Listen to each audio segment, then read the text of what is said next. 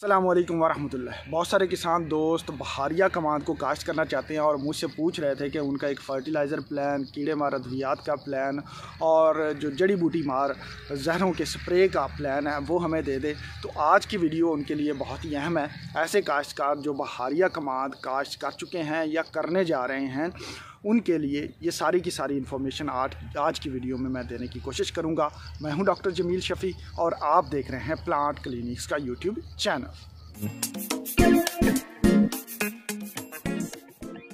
तो किसी भी फ़सल से अच्छी पैदावार लेने के लिए ज़रूरी है कि उसमें खादों का बर वक्त और मुनासब इस्तेमाल करने के साथ साथ उसमें जड़ी बूटियों का सदेबाब किया जाए और साथ साथ कीड़ियों, कीड़ों और बीमारियों का भी कंट्रोल किया जाए। इन सारी चीज़ों को हम अच्छे तरीके से बर वक्त करके अच्छी पैदावार को यकीनी बना सकते हैं।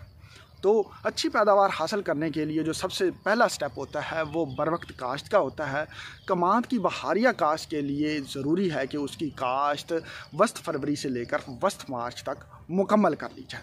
अब अगर हम इसमें खादों और जड़ी बूटी मार जहरों और दूसरी जो कीड़े मार जहरों की प्लानिंग करना चाहें तो काश्त करते वक्त मैं जो आपको रिकमेंड करूँगा, आप एक बोरी एंग्रो की ज़ोरावर, साथ में पचास किलो एसओपी जो आती है वो, या फिर अगर 25 किलो वाली एसओपी इस्तेमाल कर रहे हैं तो आजकल वो थोड़ी सस्ती पड़ती है। तो उसके दो बैग, साथ में तीन किलो सोना वालों की बोरान ले लें, या अगर बोरी केसड़ इस्तेमाल कर रहे हैं तो वो चूँकि 20 फ़ीसद होता है या 16 फ़ीसद आ रहा होता है बाज़ का तो उसका जो है डेढ़ किलो।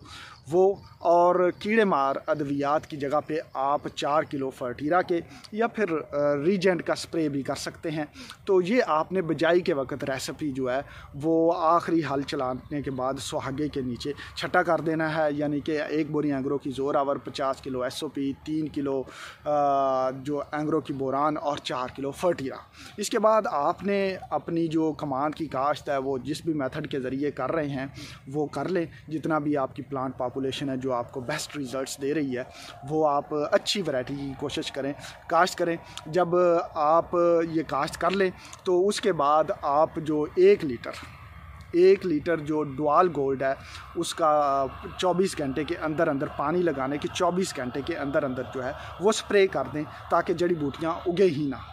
अब आम तौर पर इसके बाद हमें जो गर्मी थोड़ी सी आना शुरू हो जाती है तो 20 से 25 दिन के बाद हम पहला पानी लगाते हैं। तो उसमें पहले पानी में मैं कहूँगा कि आप 20 किलो एंग्रो की ज़ोर आवर को दोबारा से उसमें फ्लड करते हैं।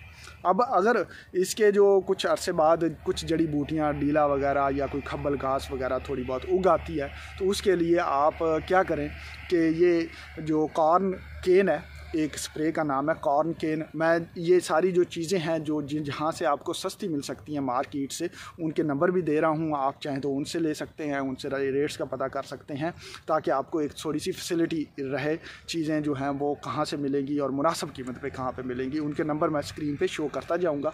तो कॉर्न केन के 1200 से 1500 मिलीलीटर जो है जड़ी बूटियों के हिसाब से अपनी फ़सल की जो उसमें कितनी जड़ी बूटियाँ, कौन सी जड़ी बूटियाँ आप स्प्रे कर देंगे तो अगर कोई जड़ी बूटियाँ उगाती हैं तो वो भी तलफ हो जाएँगी।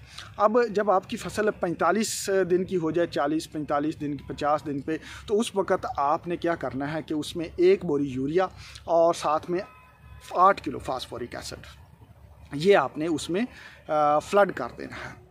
और ऊपर से जो है, आप चाहें तो एक स्प्रे रीजेंट का कर दें या वटाको का स्प्रे कर दें और साथ में उसको बायोस्टिमुलेंट का एक स्प्रे कर देते हैं तो आपकी फ़सल की टिलरिंग बड़ी अच्छी होती है। उसमें शगुफ़े साजी का अमल बड़ा तेज़ होता है और जब आपकी फ़सल जो है वो सेवेंटी फाइव सत्तर से पचहत्तर दिन की हो तो वहाँ पर आप दोबारा एक बायोस्टिमुलेंट का स्प्रे कर सकते हैं और साथ में एक बोरी ज़बरदस्त यूरिया और पाँच किलो मैग्नीशियम सल्फेट। साथ में आठ किलो जिंक जो है और पच्चीस किलो एस ये सारी चीज़ें जो हैं वो आप उसमें फ्लड कर सकते हैं।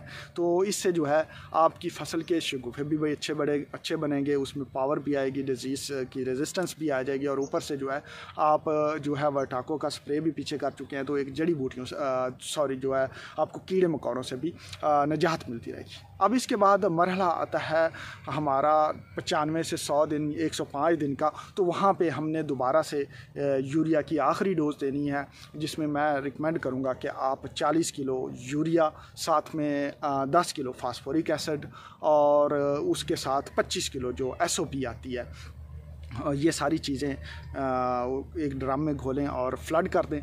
इससे जो है आपकी खाद का जो एक प्लान है, मुकम्मल हो जाता है। इसके बाद आप अपनी जो जड़ी कमाद है, उसकी जड़ों के साथ मिट्टी चढ़ा दें।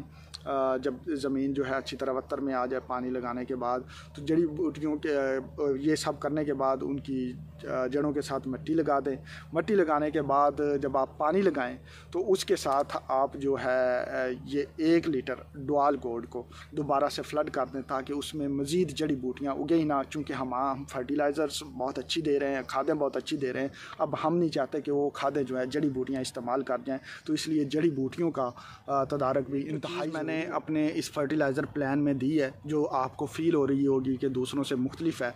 वो फास्फोरिक एसिड है और जो पोटाश वाली खादें हैं एस ओ पी उसके स्प्लिट्स किए हैं। इससे ये होगा कि आपकी फ़सल जो है उसमें जो फास्फोरस की फिक्सेशन का अमल वो कम होगा और हम थोड़ी सी फास्फोरस से में जो कमी कर रहे हैं, वो फिक्सेशन का अमल नहीं हो पाएगा या वो कम हो जाएगा और हमें जो हमारे पौधे जो हैं, हमारा जो कमाद की फ़सल है, उसको मैक्सिमम जो है वो फास्फोरस मिल पाएगी। आपको पता है कि डीएपी की जो इनिशियल पीएच है, वो आठ शरिया पाँच होती है तो इनिशियली जो है वो उसमें प्रॉब्लम आती हैं। बाद में जो है उसकी फिक्सेशन का अमल शुरू हो जाता है। तो जो एक हम फास्फोरस की जगह पे एंग्रो की जोरावर यूज़ कर रहे हैं। एक तो वो उसकी फिक्सेशन को थोड़ा कम करेगी, जल्दी जो है वो फास्फोरस हमारे फ़सल को मिलना शुरू होगी। अगली डोज़ में जब हम जो है फास्फोरिक एसिड को इस्तेमाल कर लेते हैं, चालीस पैंतालीस दिन पर जो जोरावर थोड़ी बहुत फिक्स हुई होती है, उसको दोबारा से रिलीज़ करके दे देता है और साथ में उसकी पीएच डाउन करने की वजह से थोड़ा सा जो है ये उस रेंज में ले आता है कि हमारी फ़सल की जो ग्रोथ है टिलरिंग का वक्त हो रहा होता है तो बड़ी अच्छी हो रही होती है फास्फोरस भी अवेलेबल हो जाती है। और जब हम आखिरी स्टेज पे जा रहे होते हैं पचास, सौ से एक सौ पाँच दिन के जो एक डोज दे रहे होते हैं, वहाँ पे दोबारा से फास्फोरस फिक्सेशन का अमल जो है वो शुरू हो चुका होता है, जो पीछे हम दे रहे होते हैं। तो वहाँ पे फास्फोरिक एसिड की दोबारा से डोज देने से पीएच दोबारा से हमारी नॉर्मल कंडीशन में आती है और फास्फोरस भी और दूसरे जो माइक्रो न्यूट्रिएंट्स वगैरह ज़मीन में मौजूद होते हैं, उनकी अवेलेबिलिटी को फर्दर ये जो एक बूस्ट अप देता है और हमारी फ़सल बड़ी अच्छी तरह से ग्रोथ करती है। तो ये मैंने एक फर्टिलाइज़र प्लान में थोड़ी सी चेंज की है हमारी ज़मीन की पीएच को देखते हुए। और फास्फोरस एसिड की अवेलेबिलिटी के लिए जो है वो मैं शो कर रहा हूँ नंबर जो है वहाँ पे भी आप रबता कर सकते हैं। फास्फोरिक एसिड जो है उसकी हाफ़ डोज जो है यानी कि आप पाँच हज़ार पाँच हज़ार के करीब का फास्फोरिक एसिड इस्तेमाल करके दस हज़ार की जो डीएपी है उसके बराबर रिज़ल्ट ले सकते हैं। क्योंकि ये ज़मीन की पीएच को नॉर्मल करता है पहले से जो मौजूद फ़िक्स हुई फास्फोरस को अवेलेबल करता है और ख़ुद भी जो है वो फास्फोरस पौधे को इस तरह से आपके पहले सौ दिन का प्लान जो है, वो मैंने कोशिश की है कि बहुत ही इकनॉमिकल वे में, बहुत ही सस्ते अंदाज में जो है वो आपकी खादों का प्लान बेहतरीन तरीके से जो है वो पेश किया जाए। तो इससे ख़र्चा भी मैंने कोशिश की है कि आम जो रूटीन में फर्टिलाइज़र्स यूज़ हो रही हैं, उससे रिज़ल्ट्स भी आपको बेहतर मिले और ख़र्चा भी आपका कम हो। तो इसके आप बेहतरीन किस्म की पैदावार की एक्सपेक्टेशन कर सकते हैं। लेकिन दोस्तों, अपनी ज़मीन, अपनी फ़सल, अपने तजर्बे को देखते हुए आप इसमें रद्दबदल कर सकते हैं। और अपना तजर्बा, अपनी जो राय है, अपनी इस फर्टिलाइज़र प्लान के मतलब जो इम्प्रूवमेंट की ऑप्शंस हैं, या आप इसमें जो चीज़ें सजेस्ट करना चाहते हैं, वो कमेंट्स में ज़रूर दीजिएगा। इससे सीखने, सिखाने का अमल बेहतर होता है। मैं भी सीखता हूँ आपसे। आप जो है, मुझसे सीखते हैं। तो इस तरह से सीखने, सिखाने का अमल बेहतर होता है। मिलते हैं अगली वीडियो में। तब तक अल्लाह हाफिज़।